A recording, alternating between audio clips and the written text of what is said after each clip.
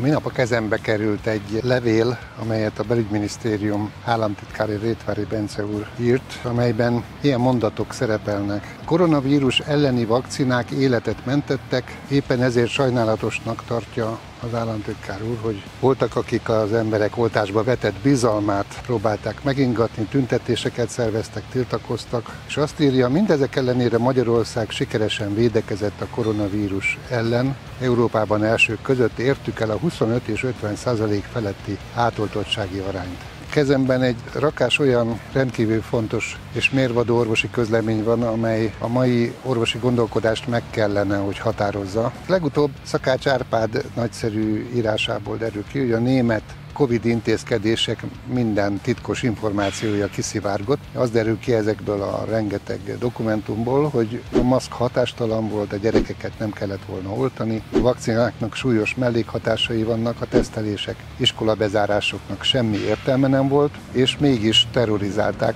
nem csak a betegeket, hanem az egészséges embereket. És ezen túl perdöntő dokumentumok születnek a napokban. Új Magyar Orvosi Karnak a honlapján közzétettük a túlhalálozásról szóló legújabb tanulmányt, amit Rancourt professzor jegyez, és amelyből az derül ki, hogy az intézkedések 30 millió embernek a halálát biztosan okozták a világban. Egyértelműen tisztázza, hogy 30 millió ember halála annak nincsen köze az úgynevezett Covid betegséghez. Félelemkelt és stressz, amit az intézkedésekkel, zárlatokkal okoztak, ez az egyik oka. A másik a orvosi beavatkozások, többek között a lélegeztetőgépek vagy a gyógyszerek, és természetesen a harmadik a Covid oltások voltak. In most countries, people over 80, the, the uh, chance, the risk of dying per injection is one death in between 5 and 20 injections, depending on the country.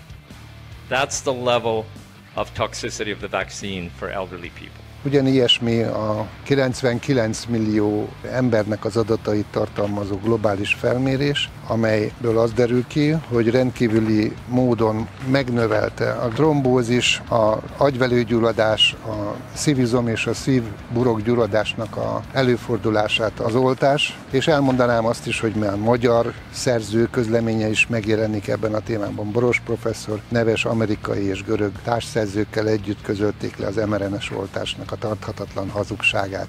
Miféle agyi burok kell ahhoz, hogy egy neves politikus olyat állítson ezen közlemények ellenében, ami pont a valósággal ellentétes. Ezek pont azt mutatják, hogy minél többet oltottak, annál több a haláleset. Honnan tudhatjuk, hogy sikeres volt Magyarország a védekezésben, ha pont azokat az adatokat nem teszik közé, amiből kiderülhetne, hogy valóban az elhalálozás csökkent, az emberek megbetegedése csökkent. Azt állítja a levél, hogy a forgalmazók és a hatóságok folyamatosan gyűjtik a forgalomban lévő gyógyszerekkel, vakcinákkal kapcsolatos információkat. Nos, de hogyha ezeket gyűjtik, akkor ezek hol vannak ezek az adatok?